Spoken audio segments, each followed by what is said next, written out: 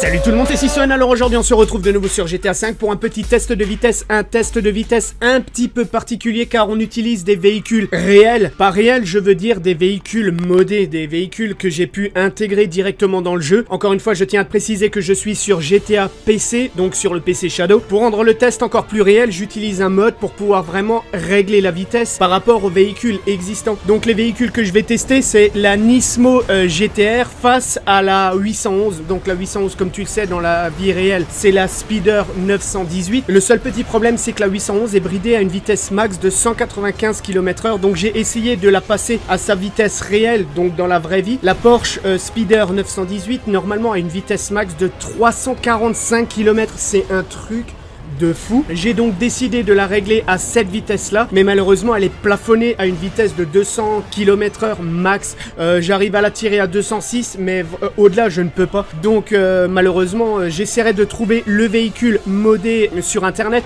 pour essayer de l'intégrer une nouvelle fois dans le jeu, même si ça m'étonnerait que des personnes ont pensé à, utiliser le vrai véhicule pour pouvoir le modder ou à essayer de le passer à une vitesse réelle. Donc, si jamais toi, tu as une solution pour pouvoir passer la vitesse pour pouvoir casser euh, ce bridage euh, de véhicules existants dans le jeu, n'hésite pas à me le dire dans les commentaires. En tout cas, moi j'ai essayé ça ne marche pas. Donc on va tout de suite passer au test de vitesse. Donc encore une fois, c'est la GTR Nismo face à la Speeder 918, enfin plutôt la 811 puisqu'elle est bridée. Allez, on va tout de suite passer au test, c'est parti. Donc comme tu peux le voir, j'ai réussi à trouver une piste qui a une ligne droite relativement longue. Donc j'ai bloqué le temps, tu vois, pour que le ciel reste bleu, euh, qu'il soit exactement midi. Comme ça, tu vois, j'utilise l'ombre du panneau qui est juste au-dessus comme ligne de départ, ce qui m'arrange fortement.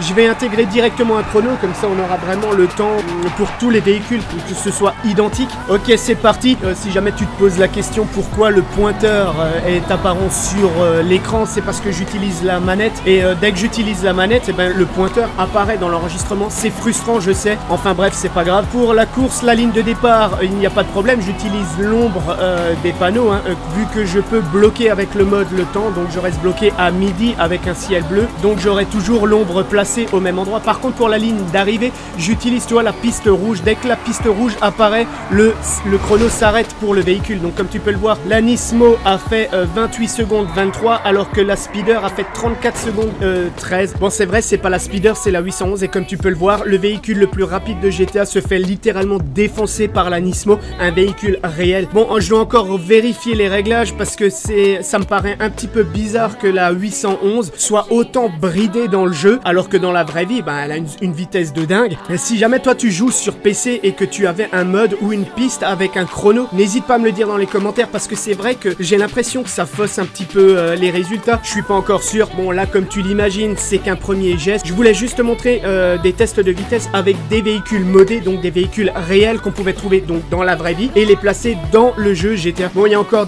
des tonnes d'autres modes que je vais pouvoir te présenter qui sont vraiment sympas et que d'autres youtubeurs n'ont pas présenté du tout d'ailleurs. Bon, je te les présenterai euh, quoi qu'il arrive. En tout cas, les tests de vitesse, je les trouve vraiment sympas. Mais si jamais tu pouvais vraiment trouver une longue ligne droite ou alors comment créer une piste parce que j'ai pas encore eu le temps de trouver quelque chose euh, où je pouvais créer ma propre piste avec un chrono et des checkpoints. Alors là, ce serait vraiment magnifique. Voilà, on est enfin arrivé à la fin de cette vidéo. J'espère qu'elle t'a plu. Si jamais elle t'a plu, n'hésite pas à liker, partager et surtout t'abonner. On se retrouve très vite dans une prochaine vidéo et sur ce, moi je te dis joue bien. Ciao, ciao.